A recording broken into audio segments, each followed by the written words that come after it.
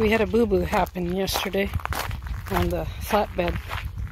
I asked Brandon if he'd like my supervision, and he quite happily said, Yes, I would like your supervision. Is that not the truth? Who are you lying to now? Well, whoever wants to listen. Okay. I got no choice but to see. Oh, is that how that works? Is that what the chuckle was after the sure? Mm-hmm. Oh, I guess I misread that, huh? Gonna have to work on it. All done. All better. Okay, now we need to It's check. pretty.